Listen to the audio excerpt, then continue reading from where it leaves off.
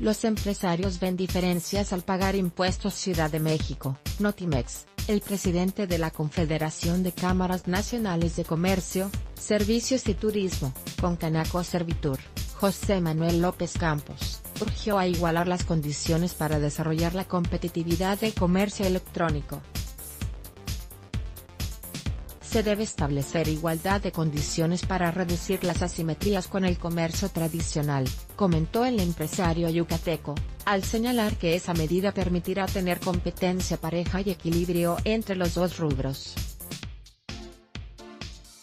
Después de la 14 Reunión Mundial de Derecho Aduanero realizada dentro del Parlamento Latinoamericano, efectuada del 13 al 14 de septiembre en Panamá, recordó que el comercio tradicional debe cumplir una larga lista de trámites administrativos, pago de impuestos, derechos aduaneros, costos logísticos y de regulaciones en México, en tanto que para las plataformas de comercio electrónico se reducen de manera notable los requisitos con menos impuestos y condiciones operativas, apuntó en un comunicado.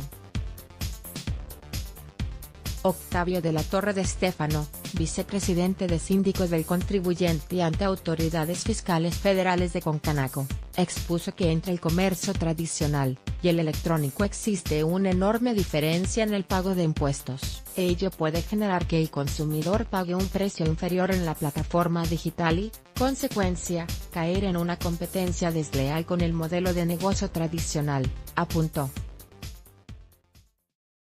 Tras participar en el Congreso de Innovación Tecnológica, Inteligencia Artificial y Control Aduanero en la Economía Digital, celebrado en dicha reunión, de Stefano comentó que en este se informaron sobre las mejores prácticas y herramientas tecnológicas de los diversos países integrantes de la comunidad aduanera para incorporarlas a las propuestas de la Concanaco. En 2021, ejemplificó Octavio de la Torre, Europa impulsará una reforma sobre el pago de los impuestos al valor agregado, y sobre la renta que estará vinculado con plataformas digitales.